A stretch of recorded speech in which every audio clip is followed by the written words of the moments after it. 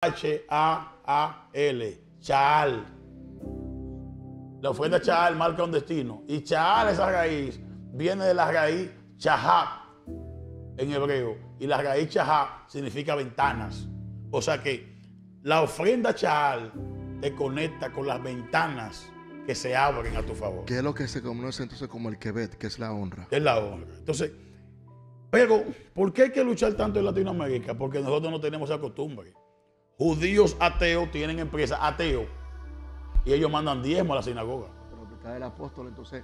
eh, Ateos, hace- oye. Hace, sentido esto, maestro. Si no hay un chal, pero antes del chal, hay un pensamiento y una disposición de un Quebet, que es una honra. Honrar. Para que el chal se manifieste en la paz, nunca vendrá un cabote. Porque fíjate, por Un ejemplo, resultado de riquezas. pues, por ejemplo, porque yo no estaba ahí cuando Dios te dio la visión. Tú me muestras la visión. Yo estoy, al yo conectarme con una ofrenda, estoy honrando tu manto. Y estoy honrando lo que tú viste que yo no vi. Pero al yo conectarme con esa visión, yo me hago partícipe de lo que Dios va a hacer cuando le toque repartir. Amén.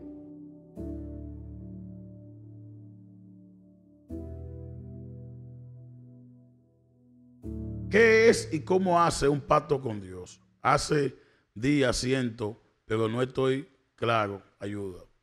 ¿Pero en qué, a, qué, a qué él se refiere cuando habla del Pacto como una ofrenda. ¿Qué Amén. es y cómo hacer? Quiso decir, me imagino. Por ejemplo, en Israel se usaba mucho hacer voto ante Dios. Tú le prometías a Dios algo, llevaba un presente y con una promesa futura cuando la bendición llegara. La Biblia recomienda que si tú haces un voto ante Dios, un compromiso ante Él, no tardes en cumplirlo. Hay personas, por ejemplo, que han venido a la iglesia y dicen, Señor, si tú me das, hace que se venda esta propiedad, yo te voy a dar una ofrenda. Aves. Luego vienen, les Dios bendice, se vende la propiedad, no traen ninguna ofrenda y el dinero se le vuelve sal y agua. Igual que lo que Dios le dice que le va a entregar algo, y una vez que Dios se lo entrega, se olvidan de que fue Dios que se lo dio y no le cumplen a Dios con lo que Eh, deben de no le cumplen a Dios. Eso no prospera. Se lo encuentran, y se lo encuentran mucho. Bastante. Oye, oye, ¿qué pero, problema? Pero eso no prospera. eso. No. Igual que el que dice que ama a Dios, va a una iglesia y se congrega, pero no cree en el acto de lo que es la honra en cuanto a tú darle a Dios lo que a Dios le pertenece. ¿Me entiendes? Y da Ah, vergüenza que todavía estemos luchando con esa clase de tema. O sea, para el tiempo que la iglesia está aquí en la tierra, ah, para el tiempo que el cristianismo sigue aquí en la tierra, yo no entiendo por qué nosotros no hemos avanzado todavía en ese pensamiento y tenemos día que, tras día tener que volver a hablar de lo que es diezmo, de lo que es ofrenda, de lo que es la honra. Porque la, la persona, las personas se aferran demasiado al dinero. es un tema de evidenciar, Leiner, también. Y, y- y también de vivirlo, pastor. Evidenciar. Porque. Sí. hay, hay gente que dice, yo amo a Dios. eh, son cristianos, pero cuando ven que hay proyectos, tú lo ves que se, se aíslan para un lado, no quieren, ni siquiera en la misma iglesia donde ellos están, son partícipes de eso. Pero tú quieres llegar a un lugar y encontrar buenos asientos, un buen audio, eh, todos los equipos con excelencia. Quieres estar cómodo, cómodo aquí, por ejemplo. Buena silla. Buena silla. Claro. Eso se compra con dinero. Exacto. Eso, eso tú tienes no solamente la fe, es que tú actúes. Y eso se ha hablado miles de veces en este programa, en toda la trayectoria que tiene el programa, porque yo entiendo que abusaron mucha gente, que dijeron que iban a hacer y que no hacen. Pero cuando tú llegas a un lugar y tú encuentras que se está trabajando constantemente, eh, las cosas son diferentes. Ayer yo estaba metido en el basement, están trabajando allá abajo. Nosotros estamos montando las instalaciones de los aires acondicionados del basement completo y me falta mover las máquinas que están de aquel lado. Y eso se hace pagando dinero. Claro. Todo eso es un trabajo que se hace, una labor. Difícil es cuando tú estás en un lugar que se dice que se va a hacer algo y no se hace. Alguien me testificó de eso, de ti en estos días, aquí en la iglesia. Y yo quiero bendecir su vida porque cuando uno escucha esa, clase de testimonio, uno se siente bien de que no lo que se habla, se habla mal. Esa señora, una señora, el, el domingo, una señora se me acercó, eh, Elena estaba ahí, y me testificó de que lo que le gustaba de esta iglesia era que cuando aquí se pedía para algo, ella lo veía inmediatamente. Y escuchar eso de una persona que se desprendió de una suma significativa de dinero porque Dios le envió, eh, me llamó mucho la atención. Me llamó mucho la Mira, atención. tú, tú entras ahora mismo a la iglesia, al salón de los adolescentes, Hay un montón de máquinas nuevas y faltan todavía. Todo eso va en el basement. Ya yo creo que si Dios nos suple y culminamos este año con el asunto del basement, Dios mediante aquí no va a haber que hablar de finanzas, yo lo digo. No, y Dios nos está castigando a nosotros en la radio, porque ustedes saben que nosotros la radio de Un antes, mes tiene esta radio, ustedes yo no te- lo saben. yo, yo sé, yo yo, la yo te lo dije, ¿qué te dije? Mm. Para que ustedes sepan todos. Todo el dinero que había para los aires se tuvo que gastar en nómina de aquí. No, y un dinero que yo tenía a mí. Eso es normal, eso a mí no me interesa, ¿sabes? En cierto sentido, porque yo le creo a Dios, pero cuando la gente se pregunta, es que hay un equipo de trabajo y esta radio, las nóminas aquí son altas. Gracias a Dios, de una forma u otra, pues Dios suple y si no yo busco prestado, vasija prestada y resuelvo. Porque es un compromiso que tengo, eh, no solamente con ustedes, sino con el pueblo que nos escucha. Necesito 911 a alguien que sepa poner inyección intravenosa. Que no estoy bien de salud. Estoy desde el lunes pasado que regresé de, Texas. Llegué a Dominicana y fue mal. Llegué allá de, de Houston con... Me dio fiebre cuando llegué al país. Eh, fue asunto de trabajo, aún así he estado un poco afectado todavía de salud. Si hay alguien que sepa poner, si es de la casa, mucho mejor, eh, intravenosa, yo tengo todo para que me lo pongan. Para ver si yo me sano de esto, se me quita esto. Pero en referente a lo que usted dice, maestro, yo sí creo en eso y, y impactar y sellar la palabra. Yo hablo de mis resultados. Es porque la, es la evidencia, ¿sabe? A veces a la persona le cuesta, le cuesta porque no lo han experimentado. No lo han experimentado. O sea, yo no puedo hablar de algo que no lo he vivido, que no lo he experimentado. El pacto ante Dios, el compromiso con Dios. El pueblo de Israel sale de Egipto después de 400 años de cautiverio. Vamos a instrumental, vamos a una parte seria. Vamos Y en medio de ese desierto de Egipto, al salir de Egipto, esta gente empiezan a pasar calamidades y situaciones. En un momento determinado, Dios le habla a Moisés, porque ellos querían tener un lugar donde encontrarse con Dios, donde, donde tener una imagen visible del Creador. Dios le habla a Moisés cuando Moisés subió a un lugar llamado el Monte Sinaí. El Monte Sinaí era conocido porque ahí en el Sinaí vivía y moraba el Dios del Sinaí, ¿Quién es el Dios del Sinaí, maestro? El Dios Él, que era la forma como Abraham conocía a Dios y los antiguos. Al Moisés subir allá arriba, tiene una visión con el Creador. Y en esta visión se le muestra a Moisés una realidad diferente a la nuestra. Se le mostró un santuario que no tenía ningún parecido con los santuarios egipcios. Era un santuario hermoso. Iba a tener tres áreas. El área del atrio, donde estarían el altar de bronce o el altar del sacrificio. Y en el, área- en el atrio había, habría una presencia de Dios poderosa. En el lugar donde se levantaba el altar a Dios y los becerros se sacrificaban a Dios como ofrenda. David, hablando de la importancia de ese lugar, dice, David, mejor es un día en los atrios del Señor que mil días fuera de ellos. O sea, estar en el atrio, ver cómo el sacerdote degollaba la ofrenda, ver cómo el Señor se manifestaba con la ofrenda del pueblo, era algo único. Moisés está viendo esto en su cabeza. El atrio está el altar de bronce. Luego tendría una segunda faceta cerrado por cortinas, que era el lugar santo. En el lugar santo estarían los panes de la propiciación. Estaría el candelabro, las siete mechas. Y Dios fue dándole detalle tras detalle a Moisés. Pero recuérdense que lo que está fuera de Moisés es un pueblo esclavo, un pueblo vulnerable, sin recursos, que acaba de salir de Egipto, de un cautiverio. En la fase final del tabernáculo iba a haber algo llamado el arca de la alianza, donde habrían dos querubines que iban a encerrar el arca y ahí dentro estarían los rollos que el Señor había entregado al pueblo.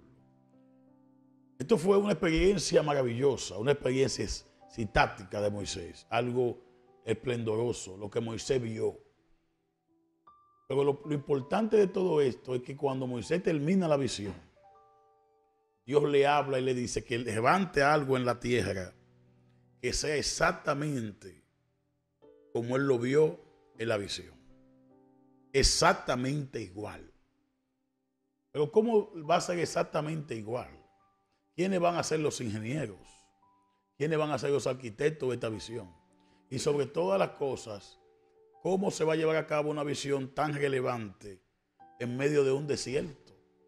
Donde la arena del desierto, el calor y el frío, no se puede construir prácticamente nada. Y no hay recursos para eso.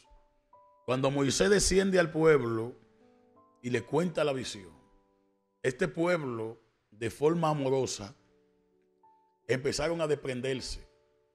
Cuando ellos salieron de Egipto, le hicieron muchos regalos. Le regalaron arcillas de oro, tenían prendas de oro. Y el pueblo va donde Moisés. Y todo el mundo, de forma unánime, fue llevando todo lo que tenía en oro. Y lo pone a los pies de Moisés para que la obra que Dios había mandado se completara.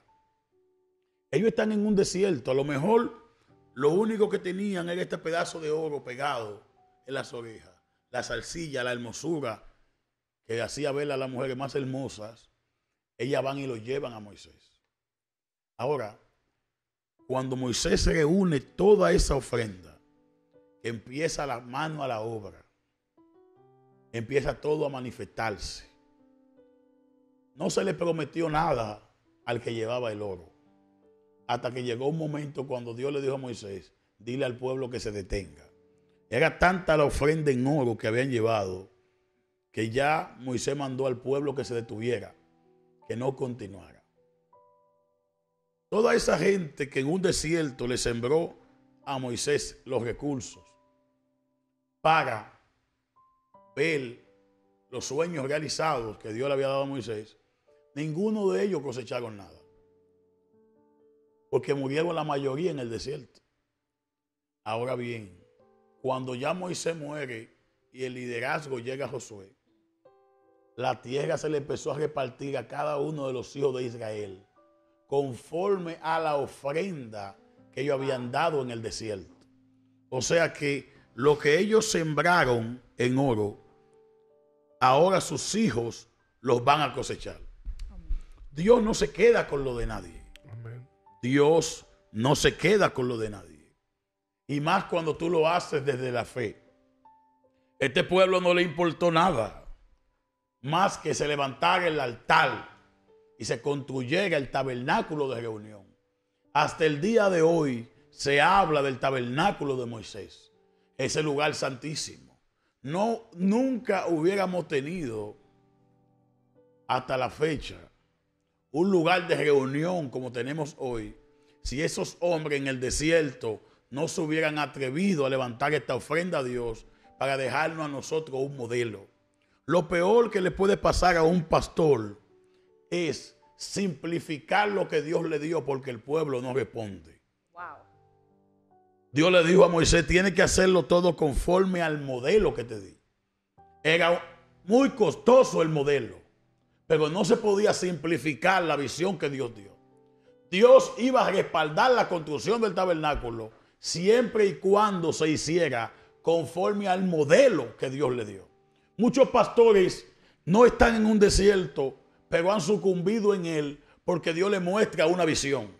Pero ellos descienden al pueblo y cuando ven la forma precaria como el pueblo vive y la forma miserable como el pueblo actúa, los pastores optan por guardar el diseño de la visión. Y así se mueren sin ver materializado el sueño que Dios le dio un día. Lo primero es entender que el que mueve el corazón de la gente se llama Dios. Entonces, cuando Dios te dé una visión, lucha por ella. Y no diezme la visión, muéstrala tal y como Dios te la mostró. A lo mejor mucha gente ve lo que está viviendo, se diga, esto se ve bien. Se ve bien a tu ojo humano, pero no son los planos que Dios mostró. Entonces, para poder ver materializado los planos de lo que Dios mostró, Dios no va a mandar ángeles a la tierra a traer fulgones de oro, sino que Dios va a poner el querer como el hacer de en medio del pueblo. Y cuando el pueblo no responda, entonces Dios va a traer gente de afuera, que fue el caso de la famosa reina de Saba, que yo se lo expliqué en en una ocasión. Sea, cuando el pueblo actuó en fe, se movió en fe, no esperando nada a cambio, sino que dijo, yo no puedo dormir en mi cama sabiendo que Dios está levantando un tabernáculo. Y ellos entregaron de forma desinteresada su ofrenda a Dios. No había comida. ¿Quién se encargaba de la comida del pueblo? Codornices y maná. Yo quiero hacerle dos preguntas y esta es la primera para aclararle y ayudar a mucha gente que incluye a, ministros que a veces usan expresiones que en el silencio ellos mismos la han practicado y por el que dirán o por montarse en una ola en el momento, la critican y la juzgan. ¿Es bíblico pactar? ¿Es bíblico sellar? ¿Y qué fundamento bíblico tenemos para sustentarnos en eso? Dios le dice a Abraham, Abraham te voy a bendecir en Génesis 13 y 14. Abraham dice, ¿cómo sé que voy a ser bendecido? Dios le dice, tráeme una ofrenda de carnero. Todos los hombres empecemos por Adán y Eva. El ejemplo número uno. Adán y Eva tienen dos hijos, que fue lo que yo explicaba aquí. Esos dos hijos van a levantar un altar a Dios. Un altar. Caín escoge del fruto de la tierra. Sin ya, sin prestar atención, como yo le expliqué. Abel escoge los primogénitos, prestando atención, investigando, indagando cuál es el primogénito de cada ganado y se lo presenta a Dios. Y al único que Dios le prestó atención fue Abel. Y le dijo a Caín, si tú quieres tener mi atención, ¿qué que tienes que hacer? Tú sabes hacer lo bueno. Tú tienes que hacerlo. Lo que marcó la diferencia entre Caín y Abel no fue el corazón, fue la ofrenda que dieron. Fue el pacto que hicieron ante Dios. Porque hasta el día de hoy hablamos de Abel, porque lo hizo desde la fe. Un pacto con Dios no tiene que ver, hay pactos que tienen decretos, que son unilaterales. Dios te dice, te voy a dar esto, esto, esto y aquello. Y eso no depende de nada que tú hagas. Es un pacto unilateral. Ahora hay pactos bilaterales, donde Dios demanda una obediencia del pueblo y un sacrificio del pueblo. Donde tú tienes que hacer una parte para que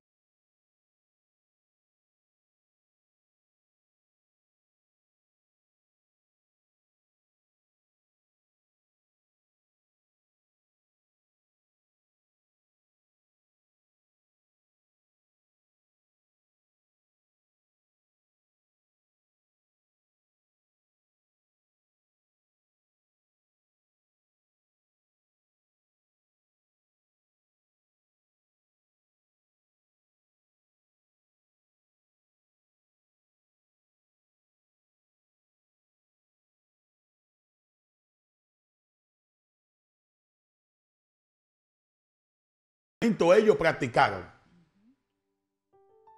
Repito, hay ministerios que han utilizado atajos para materializar lo que el Padre dio o el Padre dijo. Y entonces cuando están en esta posición es muy fácil criticar lo que en un momento inicial, cuando tú eras genuino, tú practicaste. Cuando tú estabas corriendo la carrera sin esteroide, tú hablabas de los pactos. Cuando tú te inyectaste esteroides desde afuera y cambiaste las reglas del juego, ahora tú criticas lo que lo hace. Algo que tú hiciste en tu punto inicial. No podemos llegar al lugar santísimo sin primero pasar por el altar del sacrificio. Porque eso hay ministros que nunca se van a prostituir. Porque nunca llegan al lugar santísimo. Sin primero pasar por el altar del sacrificio. Como ellos saben lo que le costó levantar lo que levantaron, su cabeza hoy no tiene precio. Su ministerio no tiene precio. Su mensaje nadie se lo cambia, no tiene precio. Porque para llegar donde están, tuvieron que pasar largas horas, meses, días y años en un altar de sacrificio, sembrándole a Dios para poder ver materializado los sueños divinos. Moisés a lo mejor le, le podía decir al pueblo, vamos a hacer la menorá de bronce como el altar. No, es que Dios me la mostró de oro. Dios, le, Dios le, exigió a Moisés una excelencia. Dios le exigió a Moisés que el arca del pacto tenía que ser de oro. Entonces nosotros no podemos simplificar lo que Dios ha dicho solamente por ver el pueblo. Y cuando cogemos la carrera hay que hacerlo de forma legítima. Casi todos los ministerios que usted ve criticando sellar la palabra, ¿sabe qué han hecho? Llenar su ministerio de esteroides.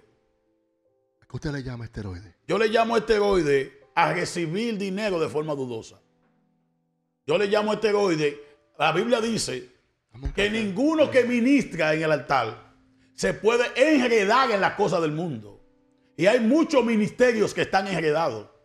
Yo le llamo esteroide cuando yo no promuevo algo, pero me beneficio de eso. Es fácil criticar desde una posición cuando ya tú lo que estás es santificando el dinero que viene de formas oscuras. Pero todo el que es llamado por Dios en esta nación, en cualquier lugar, los pastores que me están escuchando saben que toda visión que Dios ha entregado en sus manos ha demandado un alto nivel de sacrificio de dinero. Que eso muchas veces significa que tus hijos anden en escasez. Que eso muchas veces significa que tú vivís una vida de finanza estrecha. Porque es un sacrificio. Y tú has tenido que ver a mucha gente irse por delante. Irse por delante. Y ver que otros avanzan. No fue una ni dos ni tres ocasiones que yo viniendo aquí, antes de asistir la radio, yo escuchaba a los ministros diciendo, Miguel está estancado. Se desapareció. Lo sepultó Dios. Porque en el altar del sacrificio nadie te quiere cerca. Cuando llega tu época de altar de sacrificio, cuando hay que estar día a día luchando por un sueño, luchando por lo que se quiere, luchando por lo que se cree, no es fácil. Va a venir la duda. Va a respaldar el pueblo. Estamos en el tiempo del altar de sacrificio. Yo estaba haciendo un estudio hace unas semanas atrás de un mensaje que yo prediqué sobre Gedeón. ¿Te acuerdas, Leina? Que te dije, eso está ahí en YouTube. Que cuando Dios te visita, algo así, el tema del mensaje. Y yo estaba mirando algo, maestro. Cuando Dios trata con Gedeón y Gedeón le dice a Dios que él es el menor de la casa de su padre. Y llega el llamado y Gedeón va con los millares de hombres para ir al campo de batalla. Dios deja 300. Dios le dice al que temere, al que, al que tuviera temor, al que tiemble y al que me, lamere las aguas como los perros. Pero antes de eso, yo me fue revelado por el Espíritu algo impactante para mi vida, porque yo nunca, en todos los años que llevo como predicador, estudiando y escurriñando en el silencio, que tú sabes que yo me he sentado contigo, mira, quiero comprar esto, vamos a tomar este libro, vamos a hacer esto. Que de hecho tuve una batalla contigo por el SOAR y lo conseguí como quiera. no me lo buscas. Ahí lo vi, lo vi, Ahorita se los robo. No, más, otros libros por ahí que conseguí, que yo estaba atrás de eso. Y miren lo que yo eh, encontré. Que yo le dije, Leiner, escucha esto. Le dije a Leiner en la prédica. No sé si te se ha dado cuenta de esto, maestro, escúcheme. La palabra sellar habla de imprimir. Habla de poner un carácter. Algo que se guarda en privado. Gedeón le dice al ángel, a lo que muchos entienden que es una teofanía, vamos a dejarlo ahí, pero le dice, no te vayas hasta que tú no veas mi sello. Wow. Lo que haré en privado. Pero ya el pueblo sabía, los hombres de Gedeón sabían que Gedeón iba a sellar la palabra. Wow. Eso no es lo que a mí más me impactó, maestro. Yo no he encontrado en la Biblia Usted me puede, si hay otra parte, pues quizás se me ha pasado por alto. No quiere decir que no esté en la Biblia. Pero yo no he encontrado, reitero, no lo he encontrado en la Biblia o se me ha ido por alto, pero ahí fue que yo, aquí fue que yo me sacudí. Que dice la Biblia que el ángel tenía un báculo. y tocó la ofrenda de Gedeón con el báculo. Oye esto, el ángel tenía un báculo y tocó, o sea que él le dice, no te vayas, sino que sella mi ofrenda. Y él la tocó y también la toca para darse cuenta qué calidad tenía el animal que había usado Gedeón para presentarlo como ofrenda. Amén. Lo toca. Yo dije, Dios mío, pero yo mismo me dije, yo tengo años predicando y nunca he escuchado a nadie hablando de esto, dije yo.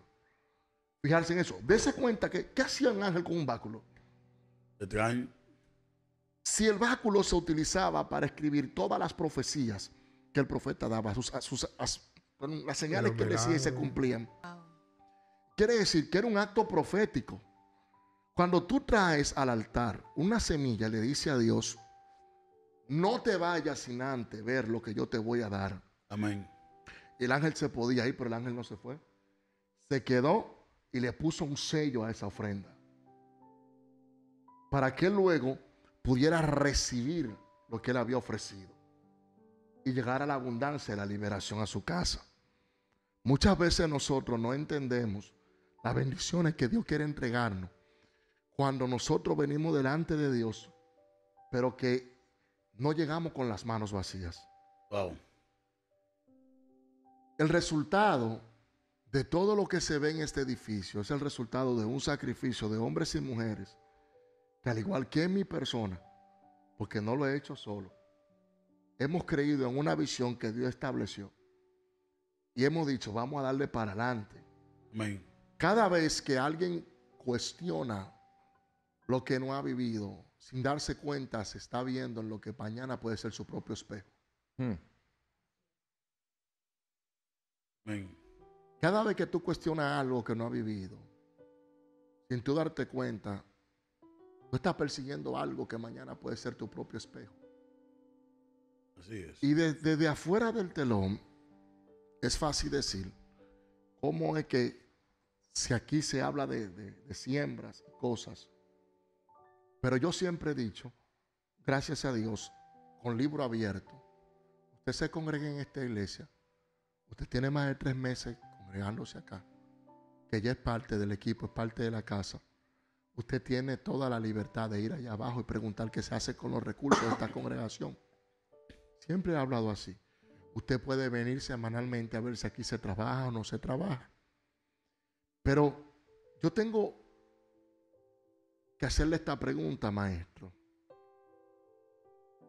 ¿Cuál fue el beneficio que obtuvo la reina de Saba luego de llevarle las riquezas a Salomón? Porque la gente habla de que ella le llevó, pero no habla del beneficio que ella recibió.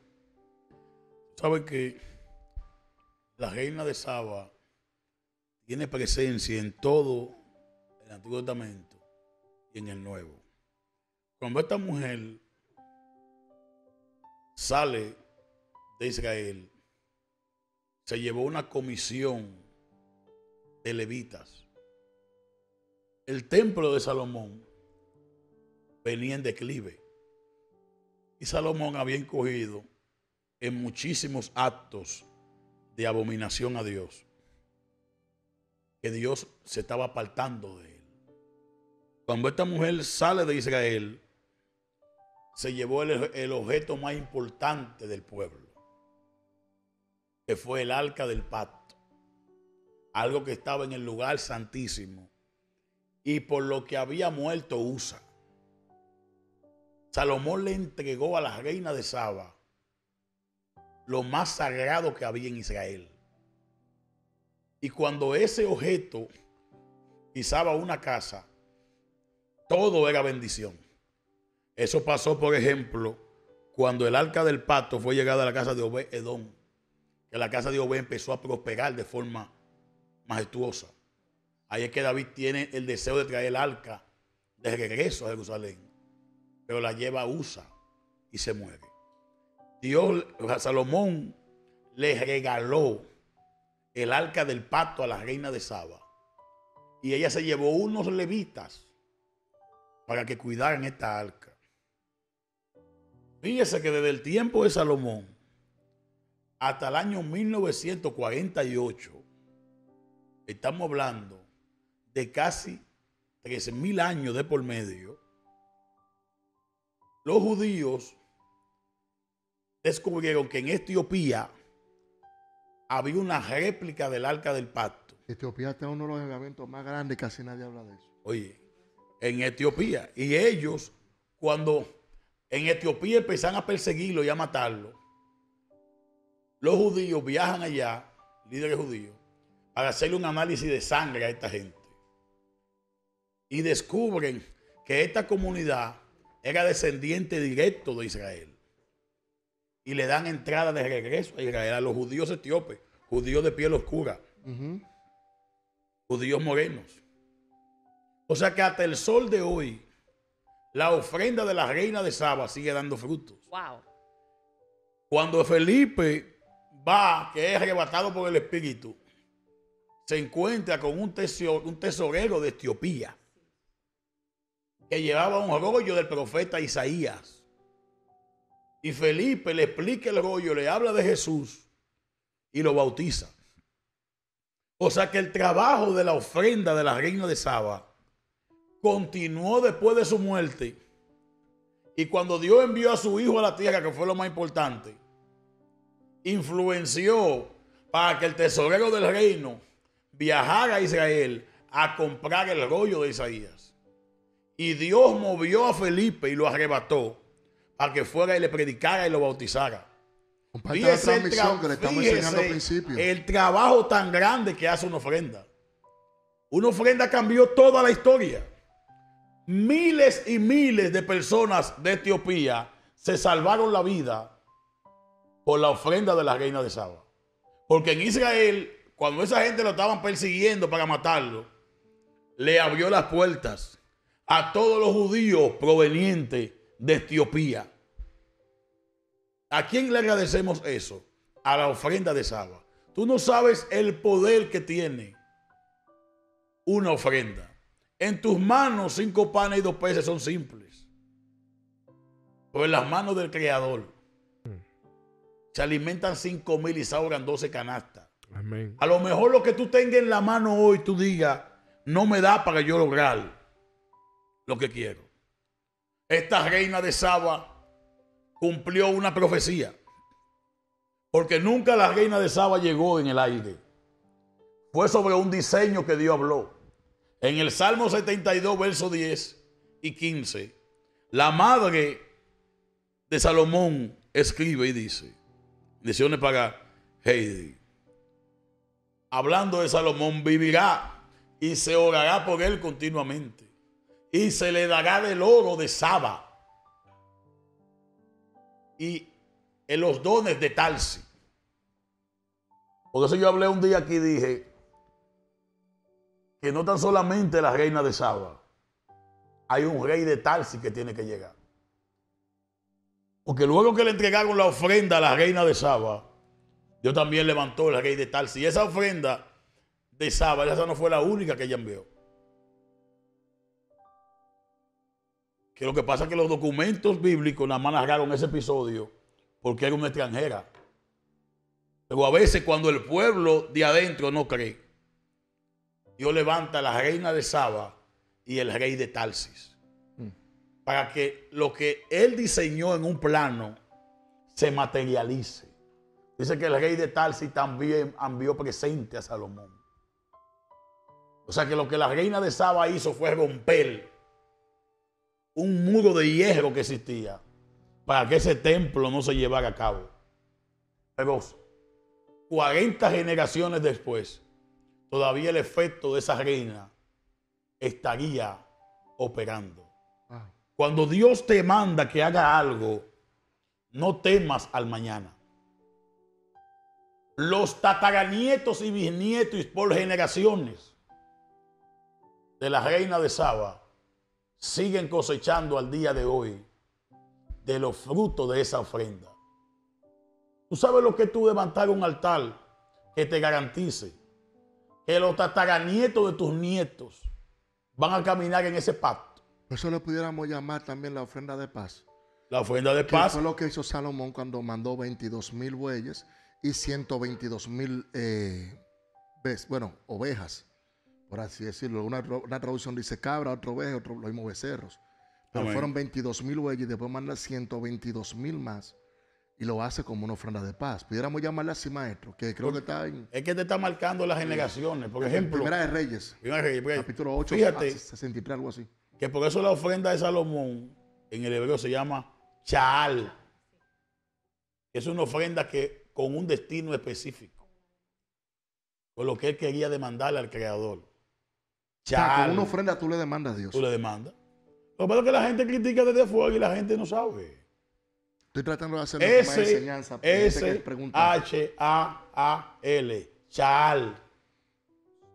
La ofrenda Chaal marca un destino. Y Chaal, esa raíz, viene de la raíz Chahab en hebreo. Y la raíz Chahab significa ventanas.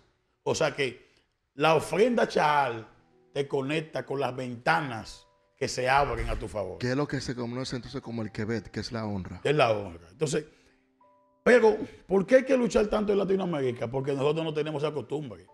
Judíos ateos tienen empresas ateos y ellos mandan diezmo a la sinagoga. Pero aplicar el apóstol, entonces. eh, Ateos, oye. Hace, hace- hace sentido esto, maestro. Si no hay un chal, pero antes del chal hay un pensamiento, una disposición de un Quebet, que es una honra. Honrar. Para que el chal se manifieste en la paz, nunca vendrá un cabot. Porque fíjate, por Un ejemplo, resultado de riquezas. pues, por ejemplo, porque yo no estaba ahí cuando Dios te dio la visión. Tú me muestras la visión. Yo estoy, al yo conectarme con una ofrenda, estoy honrando tu manto. Y estoy honrando lo que tú viste que yo no vi. Pero al yo conectarme con esa visión, yo me hago partícipe de lo que Dios va a hacer cuando le toque repartir. Amén.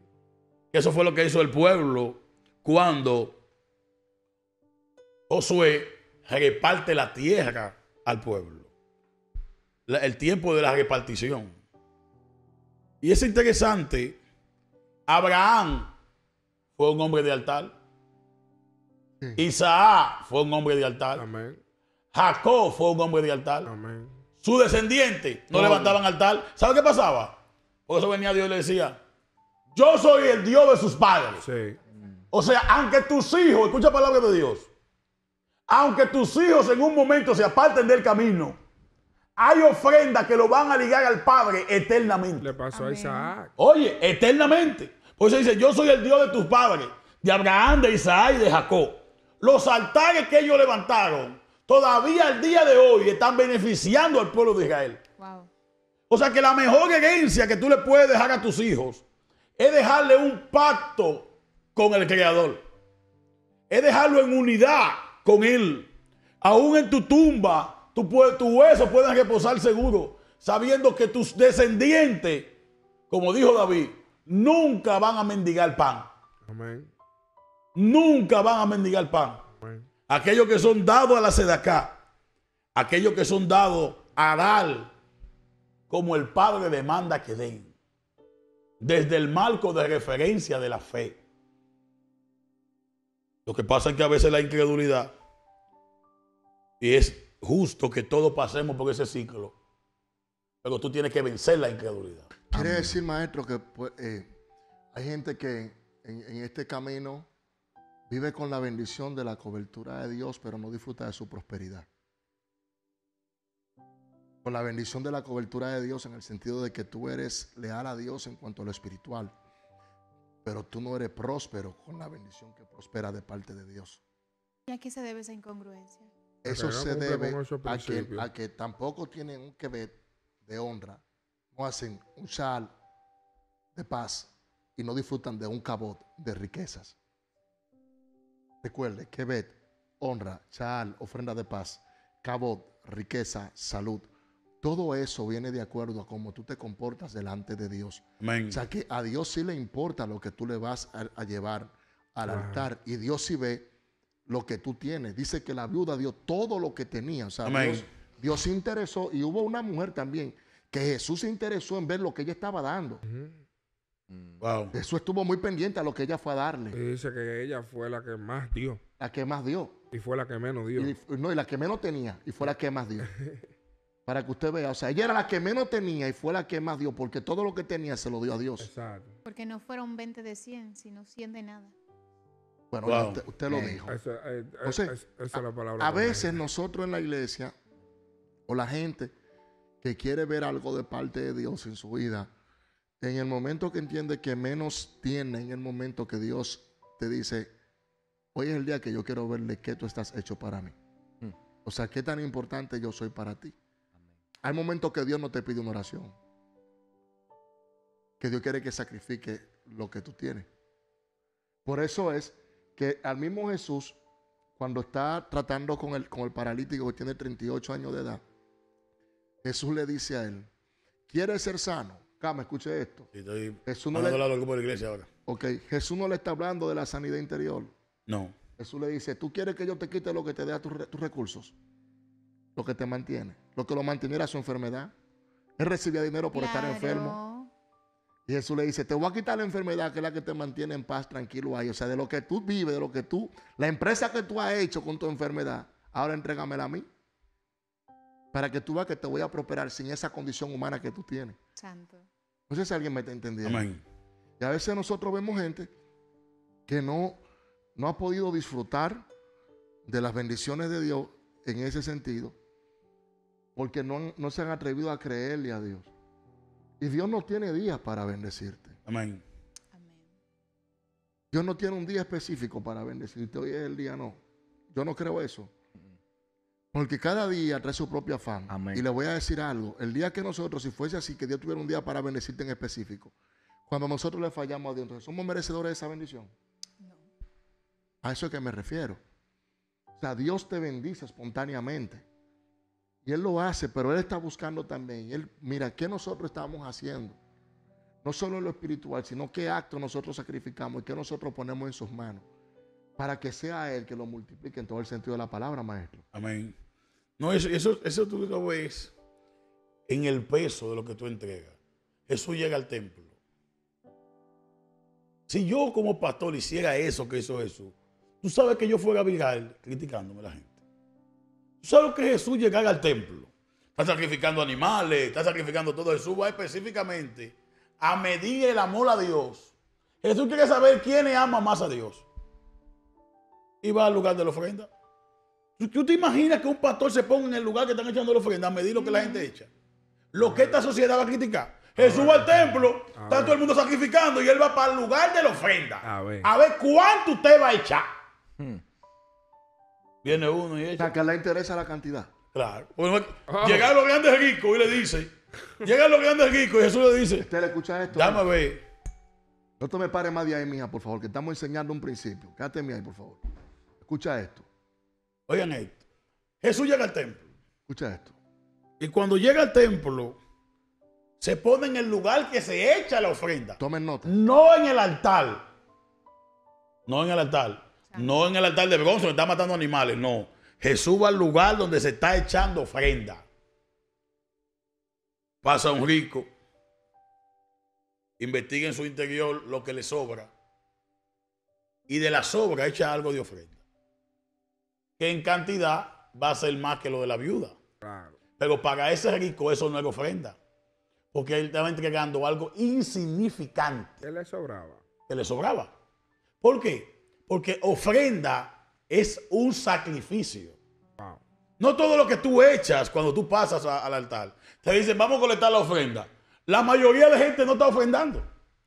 Porque lo que ellos están dando para ellos no representa un sacrificio. Lo que ellos pueden. Lo que ellos pueden dar. O lo que les sobra para dar. O sea, eso, a eso se puede considerar una limosna. Una limosna, porque el concepto nuestro es católico. Nosotros venimos de ese concepto de limosna. Yo estaba en un funeral una vez en la iglesia central de Santo Domingo. Y cuando van en el parqueo, la señora se devuelve y le dice: Mira, ¿dónde es que se echa la ofrenda? En Dominicana. Digo, bueno, tiene que hablar con el coordinador allá adelante. Y cuando van, ella lleva 10 pesos dominicanos y lo echa en la ofrenda. O como con 7 guardaespaldas. Es un concepto de limosna. Eso no es una ofrenda. Entonces Jesús se paga al lado de la ofrenda y dice, cuando viene esta viuda, sacar el diezmo de la blanca, la iba a descomponer. Una blanca. Era una podía- blanca. una blanca te podía dar para una comida. Eso lo había recibido ella por quién? Porque si era viuda, supuestamente creo que era el templo que le daba a, a la viuda. No, porque esa viuda no está de la viuda que sostiene el templo. La viuda que el, que el templo sostiene, o sea, el templo mandaba ofrenda para viudas de Jerusalén, pero se le mandaba en términos de comida. Esta mujer tiene una blanca. Wow. Un denario es el salario de un día, una blanca el salario de una comida.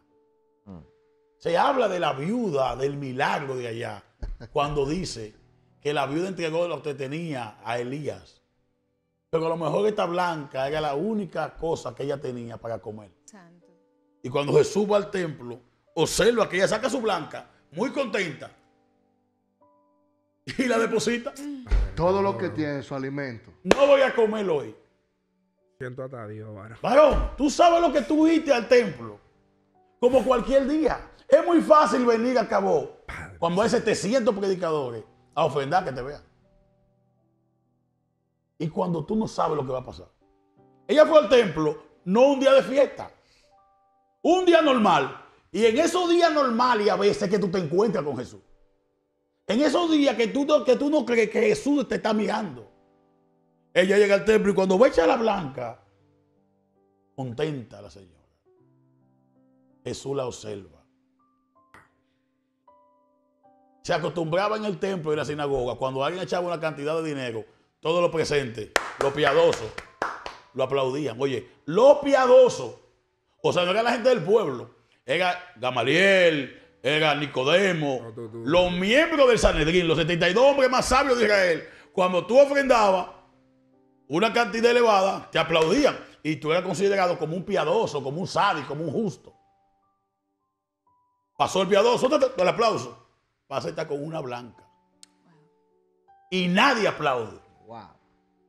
Entonces el maestro viene y le dice, ustedes ven esta que está aquí. Esta fue la que más ofrenda dio. Oh my God. Porque fue un acto de sacrificio. Muchos de nosotros tenemos que pedirle perdón a Dios. Porque a veces nosotros creyendo que ofrendamos, lo que estamos dando es limosna. No todo el mundo ofrenda. No todo el que está en el pueblo ofrenda. Porque una ofrenda no es algo que tú puedes dar. Una ofrenda es un acto de sacrificio. Sacrificio.